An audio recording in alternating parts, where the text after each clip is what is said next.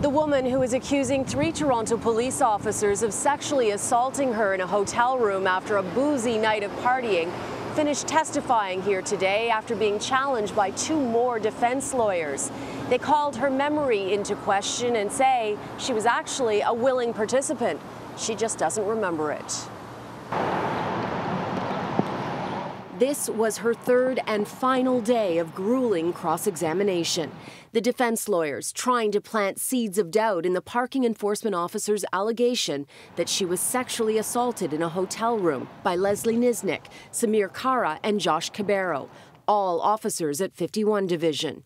Each lawyer tried to portray his client in an innocent light by presenting an alternate version to hers. Last week, Nyznik's lawyer claimed she was the instigator, that she initiated having oral sex with the officer, that she wanted it. Today, Sameer Kara's lawyer pointed out that Kara asked permission for all the things he did sexually that night, including if he could ejaculate in her.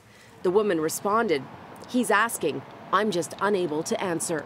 Kara's lawyer questioned the accuracy of her memory, getting her to admit she had no recollection of arriving at the hotel in a cab shown on this video, suggesting Kara did not say, Stop, Josh, she's out in the room, but get out. Is it not possible in the hotel you voluntarily took part in acts you do not remember? He said. Why isn't it a reasonable possibility you're not a victim of a crime, but a victim of alcohol diminishing your inhibitions? She responded, I did not consent to what happened in that hotel room. Josh Cabero's lawyer also suggested her memory was unreliable, pointing out she had told police she walked to the brass rail with a group, but video shows she arrived in a cab, suggesting if she was wrong about that, she was wrong about so much more. What's your explanation? How can you be so wrong? he asked. She answered, The only explanation I can give is I was so intoxicated. Cabero's lawyer also tried to raise doubt his client was involved in a sexual act. He got the complainant to acknowledge she surmised it was Cabero penetrating her from behind because Nyznik was penetrating her mouth and Kara was asleep on the bed. Throughout it all, the woman stayed calm, consistently denying the defense's alternate version, refusing to back down from her allegation she was raped by the three officers that night.